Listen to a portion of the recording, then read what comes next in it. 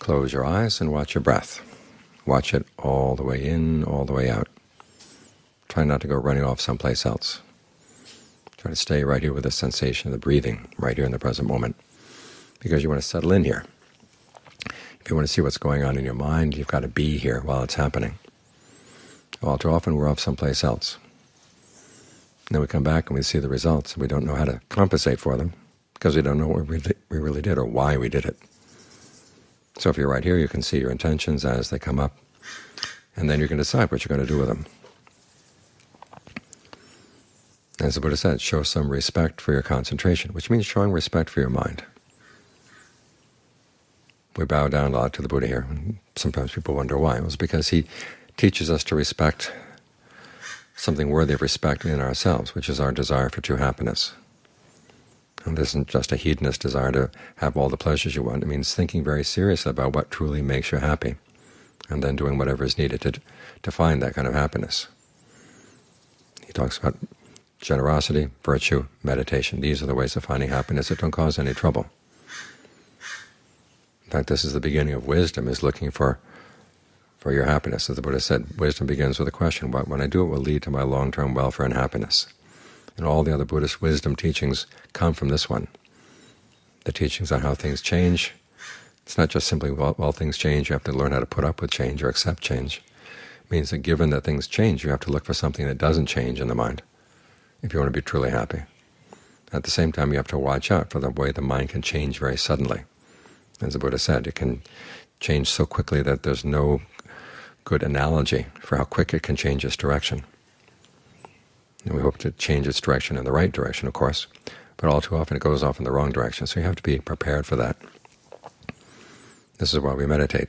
This is why we also develop other good qualities in the mind to strengthen the mind's resolve that you don't want just immediate pleasures, you want pleasures that last, which take effort, and which take time. As you said, it's a sign of a person's wisdom that if you know that something leads to long-term happiness, but it's not something you like to do, you, you know how to talk yourself into doing it. Or if something leads to long-term pain, but you know it's something you like, well, you know how to talk yourself out of doing it. That's wisdom.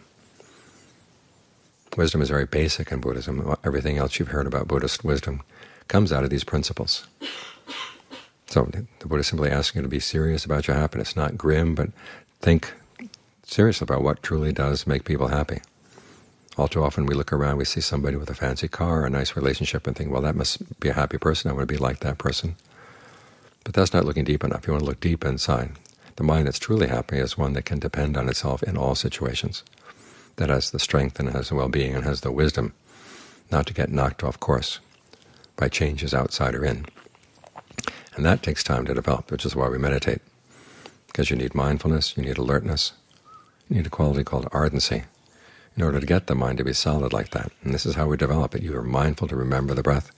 You're alert to what the breath is doing. And you're ardent into making the breath as comfortable as you can, and keeping the mind with the breath and making good use of that sense of comfort. That's how wisdom develops inside.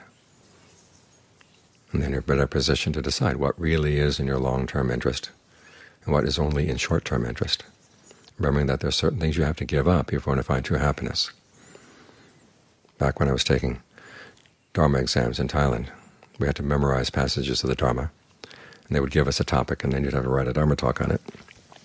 And I wasn't all that good at memorization, so I figured what I need is a passage that I can quote that can be used with relationship to all topics. And I found one that really worked, which is if you see that there's a less greater happiness that comes from giving up a lesser happiness, the wise person gives up the lesser happiness for the sake of the greater one.